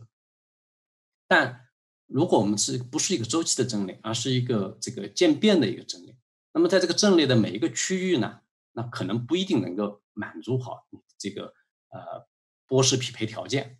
但是由于你的阵列本身它不是无穷大的，所以它这个导格点啊，并不是一个完美的几何点，而是有一定的展宽的时候，实际上它同样可以满足这个呃波式匹配条件，一定程度上满足这个波式匹配条件。因此，我在这个阵列的不同位置可以有不同的这个衍射角，而这个不同的位置的形成的不同的衍射角的组合呢，就构建出了一个对波潜的一个调控方法。所以这个其实是呃对这个。呃，布拉格衍射或者说二维光子晶体对衍射光调控的一个全新的一个拓展，这个方法到底是否有效呢？我们后来我这里不展开细节了，但是我们首先做成功的一个工作啊，就是二零一一年用这个方法演示出了一个艾里光束的一个表面等离聚源波。那么艾里光束是一个需要一个特殊相位调制的，而这个相位调制呢，我们就通过这个渐变的这个呃点阵结构就可以。呃，制备出这样一个满足它的这个相位调制的呃要求，然后在实验上演示出了这样一个非常好的呃呃呃等离聚源艾里波束。那么其实我要说的是，在这个工作的前后啊，我们这个是一一年的九月十六号，实际上在这之前九月九号以及前面的八月份呢，分别有另外两个组，一个就是呃伯克利的张翔老师组，还有一个是呃澳大利亚国立大学的 Uri Kifsa 研究组。他们分别用其他的方法也实现了这个案例波数啊，但是如果有兴趣的同学，大家可以去把这三篇文章拿出来看一下。我们用的方法都不一样，但是你去看最终的实验效果应该是我们的这个成的这个艾利波束的质量是最高的，而且呢，我们是一个完全的面内的操控，它不依赖于耦合结构。另外两种方法，它都依赖于它的这个耦合光栅的这个设计。好，那么我们这个工作发表之后，也是受到 Nature Photonics 编辑的这个这个啊 Norika Noriachi 的这个一个采访。那么在这个采访当中，后来还写专门写了一份报道，大家有兴趣也可以去参参考这个报道。那么今天的主题是讲这个透镜啊，我刚才说这个部分我们称之为叫非典型性透镜。为什么叫非典型性透镜呢？实际上它是一个阵列啊，就是在金属表面上做了一个点阵。那么这个点阵它可以扮演一个波前调控的功能的话，那么它就可以把表面波、表面等离激源波进行一个聚焦。所以，我们通过这个一系列的衍射单元的设计，是可以构造出一个这样一个聚焦相位分布的。这个就是我们做的这样一个呃透镜呃这样一个呃聚焦的这个阵列。然后呢，我们在实验上和理论上做了个模拟，对这样一个表面等离激源波，只要打到这个阵列上，它就会聚焦到这个点，而且这个点点这个焦斑是非常小，小于一个微米。而且这样一个聚焦的行为呢，还是一个宽带的行为，主要是它这个聚焦的相位啊，它是有一定的容忍带宽的。我们设计好了之后，就把它从不同的波长打进来，它都可以完成聚焦，从红光一直到绿光啊。然后我们这里演示的带宽呢是带宽是一百纳米，其实应该是不止一百啊。然后有了这样一个宽带聚焦的话，那么它其实可以扮演光子集成当中的一个功能，就是波分复用，也就是我不同颜色的光、不同波长的光。我聚焦过来会聚焦在不同的点上，所以呢，我们这里做了一个演示，就是用呃两种不同的这个激光同时输入，确实可以形成不同的这个聚焦斑。然后根据这个聚焦斑的间距和它们的这个半高宽呢，可以推算出这样一个部分复用的这个分辨率啊，可以达到十二纳米。那么这个功能并不是呃这个分波长分辨率并不是很高，但是呢，由于它整个都是在这个表面内完成，而且可以把这个输出。设定好一定的输出波导的话，是可以把这个呃部分复用的这个光场给提取出来。当然，在这之后，我们还做了其他的一些聚焦功能，比如说针对一个点源的一个聚焦啊，同样我们设计出一个阵列，让它满足特定的相位要求的时候，可以聚焦到这个点上，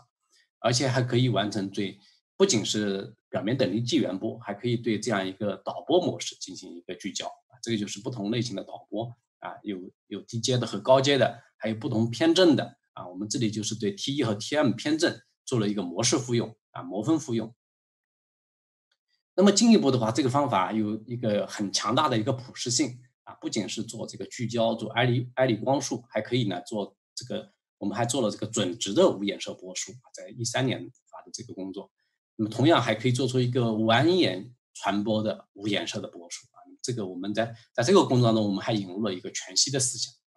所以呢，在这个体系当中，其实有非常大的一个拓展的空间。但是它的根本问题在于，它是个 SPB 的传播，所以它的传播距离总是有限，这也是它很难获得一个应用的一个原因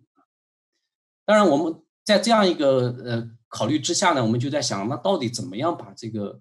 这种一种光场调控的这个手段，把它的优势充分发挥出来呢？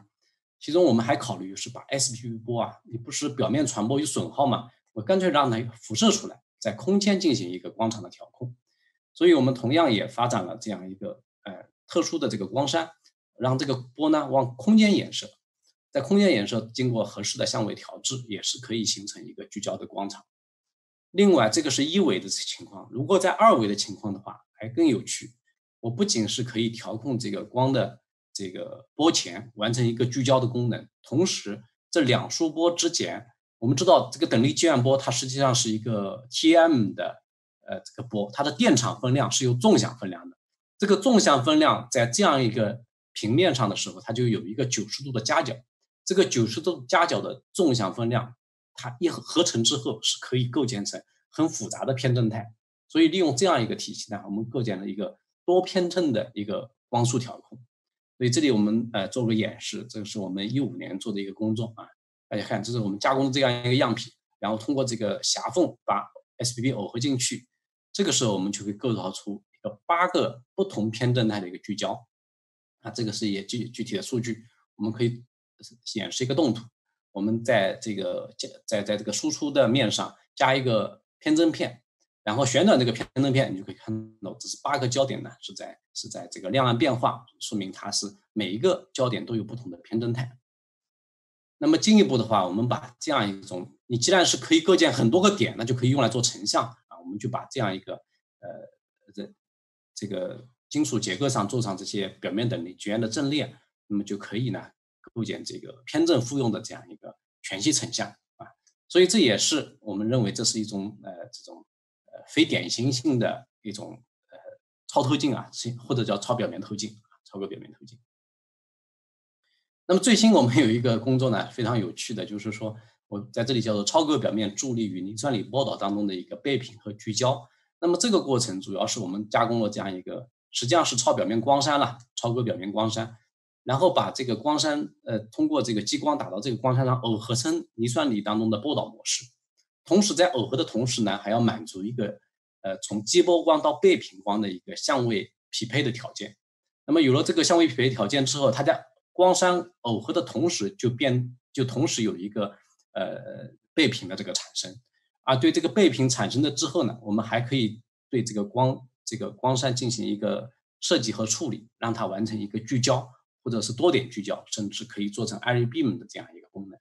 所以这样一种特殊设计的这种超割表面光栅呢，我们就认为它是一种非典型性的面内透镜啊，它可以完成光场啊从面内到面外的一种或者到波导波导模式的这样一种转换。好，那么对这部分工作做一个总结呢，实际上就是我们讲的这种非典型性的面内透镜啊，大大丰富了光场调控的手段和技术。那么它呃，我们开始是从这个爱丽波数的这个提出和实现开始的，后来做到这个无准则的波束，做到这个蜿蜒传播的波束，做到空间的这个聚焦，做到空间的全息。所以我们有两条主线，一个是从面内往空间辐射做拓展，还有一个是从简单的波束调控到全息技术的一个发展。